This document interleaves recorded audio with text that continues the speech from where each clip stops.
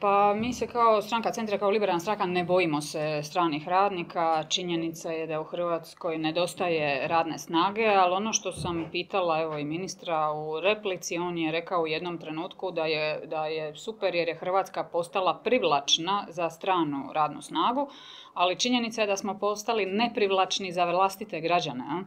Posljednjih deset godina 400 tisuća radno sposobnih građana je napustilo Hrvatsku i ako pogledate e, istraživanja, čak i od posebnog e, savjetnika vlade, tada Jurića, kaže nakon intervjua ali, sa, svima sa dosta ljudi koji su iselili, zapravo njihova jedina primjedba zašto su iselili, jedini razlog je korupcija i kriminal. Pitala sam ministra što misli poduzeti u eliminiranju tih razloga, ali kako bi njegovi napori da vrati iseljenike zapravo bili vjerodostojni.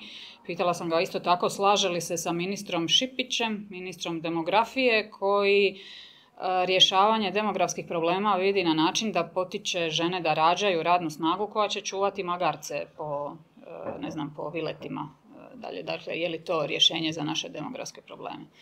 Dakle, što se stranih radnika tiče, nemamo problema e, s njima, potrebni su nam radnici, ali razlozi, više me zabrinjavaju razlozi zašto se naši ljudi iseljavaju iz Hrvatske.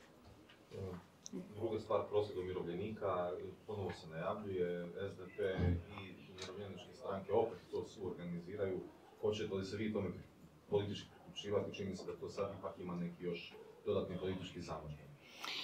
Pa e, nije tajna da u, Hrvatskoj, ne samo umirovljenici, evo pričali smo jučer i o minimalnoj plaći, koja je pitanje uvijek je li dostatna za pokrivanje e, životnih troškova.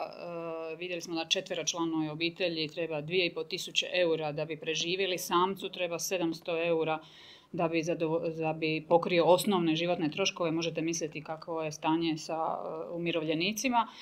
Uh, podržavamo dakle sve one koji uh, traže svoja prava i sve one koji zapravo žele Hrvatsku u kojoj je, ja bih rekla, ugodno živjeti ne samo umirovljenicima nego svim drugim građanima za sada, evo kao što sam rekla, naši građani iseljavaju, traže druge prilike, svoje prilike u drugim e, zemljama, a ja bih rekla da prije svega traže uređene države u kojima e, e, nije nesigurno živjeti, u kojima imaju zaštitu i od pravnog sustava, a nemaju osjećaj da su nekakve političke elite privilegirane i da je stranačka iskaznica mjerilo i glavna diploma i ulaznica za sve.